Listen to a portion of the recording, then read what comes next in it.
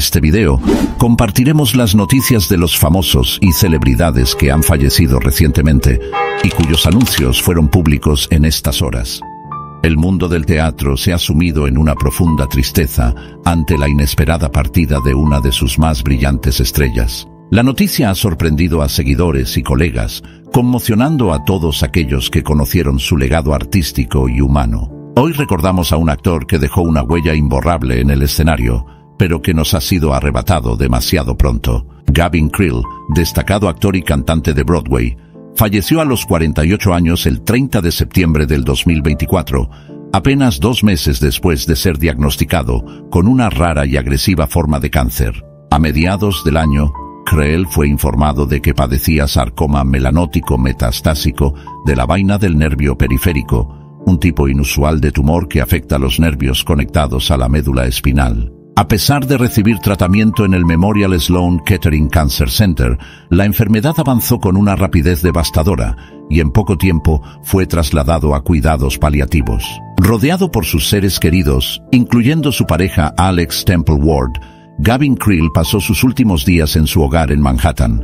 Su repentino fallecimiento ha dejado una gran tristeza en la comunidad teatral, que lo recuerda como un artista excepcional, lleno de carisma, dedicación y pasión. La trayectoria de Krell fue extraordinaria. A lo largo de su carrera, deslumbró en producciones tanto en Broadway como en el West End londinense.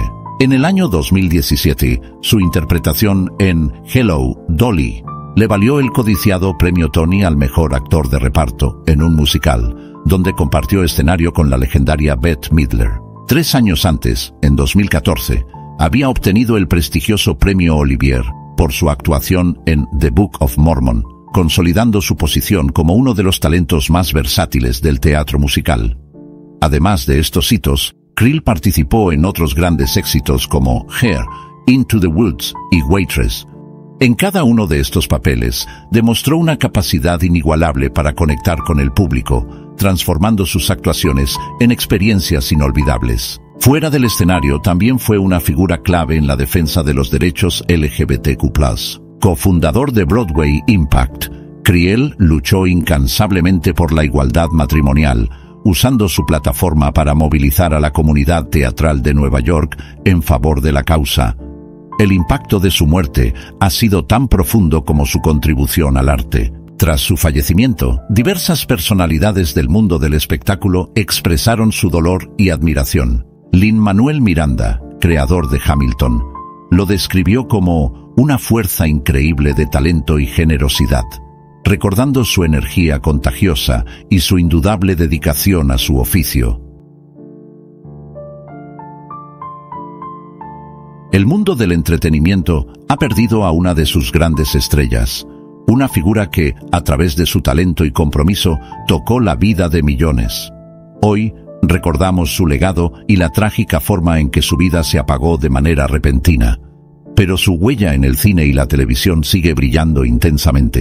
Su viaje artístico comenzó en el año 2002, con su debut en la película Coastline. A partir de ahí, su carrera floreció y su versatilidad como intérprete le permitió destacarse en diferentes ámbitos, teatro, cine y televisión.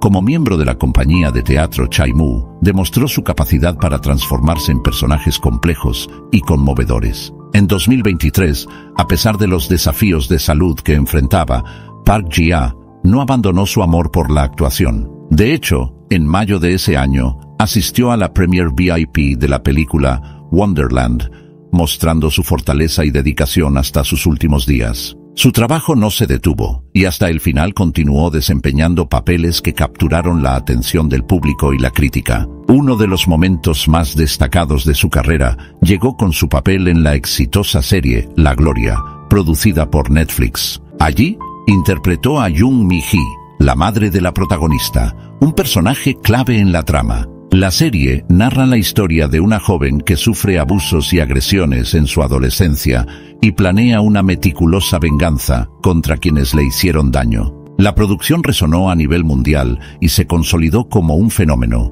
captando la atención de audiencias de todo el planeta. El papel de Park Ji-a fue crucial para dar profundidad a esta narrativa cargada de emociones intensas y oscuras.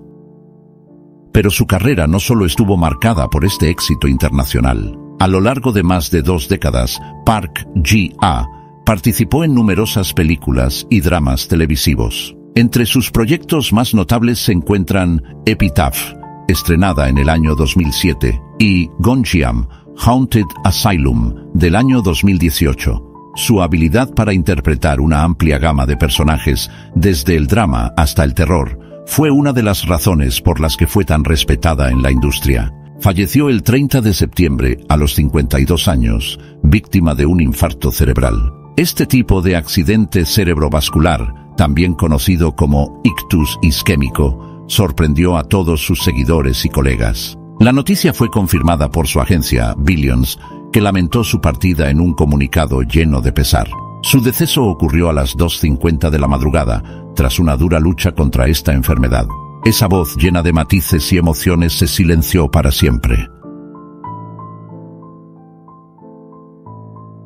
Un día que parecía común, una noticia conmocionó al mundo. Una periodista, activista y defensora de los derechos humanos brasileña, comprometida con las causas más importantes de su generación, había dejado de existir de manera inesperada. Su vida, llena de logros y de luchas incesantes por la justicia social, se apagó en circunstancias aún no completamente esclarecidas. Hoy recordamos su legado y los misterios que rodean su trágico final. Natalia Urban, nacida el 25 de diciembre de 1987 en Santos, Sao Paulo, Brasil, dedicó su vida a defender a los más vulnerables. Creció en Juan Pessoa, Paraíba, junto a su madre soltera, enfrentando desde pequeña las adversidades que solo forjaron su carácter y su pasión por las causas sociales. Natalia se destacó como estudiante, enfocándose en temas relacionados con los derechos de las mujeres y los movimientos sociales de América Latina. Este interés académico la llevó a estudiar antropología,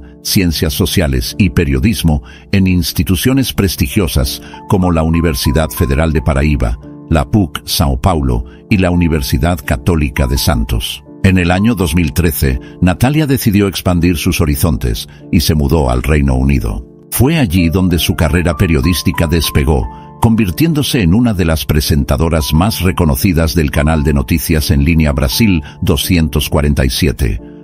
El 23 de septiembre de 2024, su vida dio un giro trágico. Natalia tenía previsto hablar en una conferencia organizada por el Partido Laborista en Liverpool, Inglaterra. Al no aparecer en el evento y tampoco regresar a su trabajo en Brasil 247, la preocupación aumentó. Esa misma tarde fue hallada gravemente herida tras haber caído del puente Forth Road en Escocia. Aunque fue trasladada de inmediato a la Royal Infirmary de Edimburgo, su condición era irreversible. Cuatro días después, el 27 de septiembre, el equipo médico decidió desconectar el soporte vital debido al daño cerebral irreparable que había sufrido. Sus órganos fueron donados en un último acto de generosidad y compromiso con la vida. La muerte de Natalia Urban, aunque catalogada como accidental, está siendo investigada por la policía de Escocia. Las autoridades han confirmado que se están revisando posibles indicios de violencia doméstica en relación con su fallecimiento.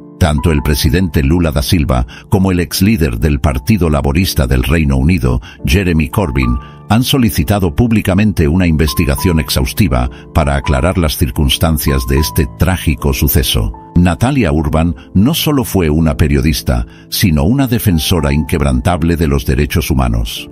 Aunque su vida fue breve, su impacto en las luchas sociales y en el periodismo de denuncia seguirá vivo en la memoria de todos los que se inspiraron con su trabajo y su coraje.